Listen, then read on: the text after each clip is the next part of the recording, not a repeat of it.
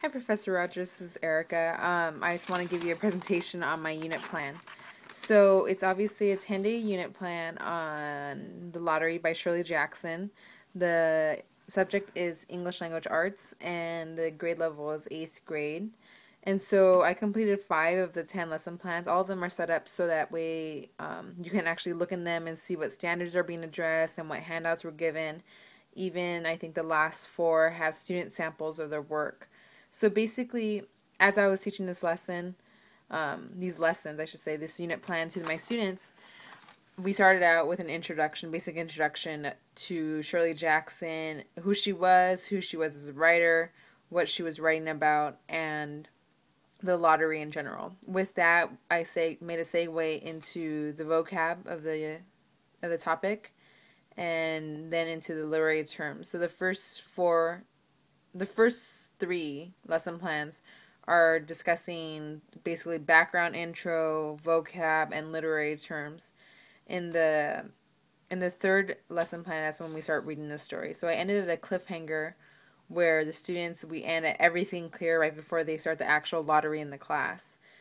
Um, up to this point, as a class, we have already conducted a mock lottery, so the students know kind of expect what to happen, and um, they already have chosen a winner as a class but they don't know what they have won or what how it's going to play out in the story.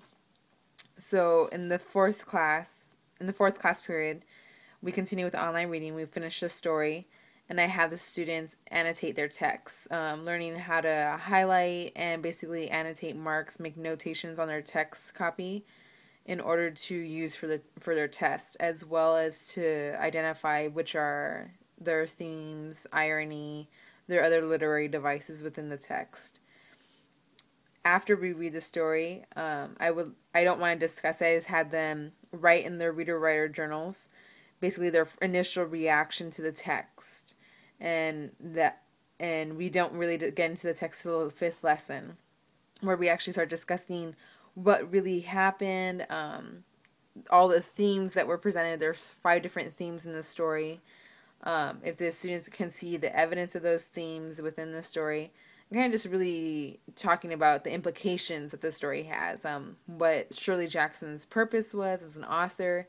A lot of the kids kind of dismissed, dismissed her as crazy. Um, in her bio, it did say that she was institutionalized for a short period during college, and so the kids kind of wrote her off as that. But trying to see her, they didn't understand how her story could be one of the great American stories.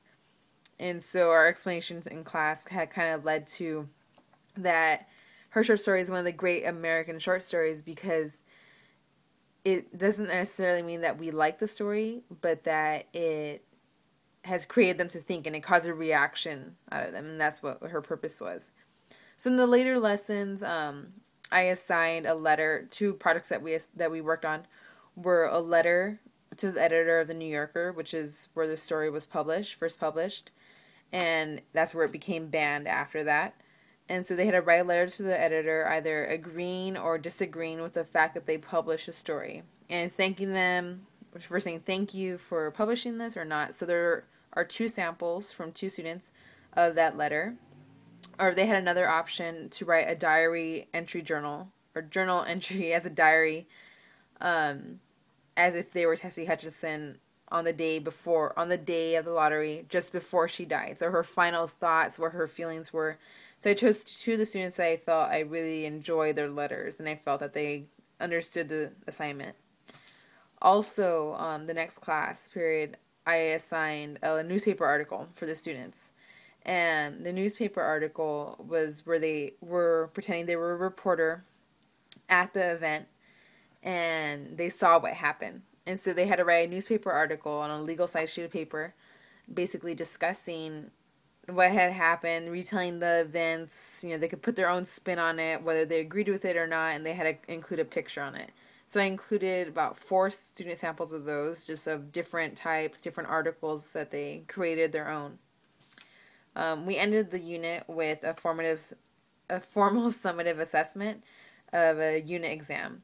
So it was a 20 or 10 questions on the front. On the back, they had to fill out a plot diagram and I included two student samples. One was the highest grade in the class, and the second was one of the lowest grades in the class, just showing the two extremes of the answering. And they actually didn't vary so much in idea, just in the way they presented the material and articulated their answers. So that was the summation of the of the unit plan. Um, I hope you enjoyed looking through all the paperwork, and I'm sorry it's so late. Thank you. Have a good night.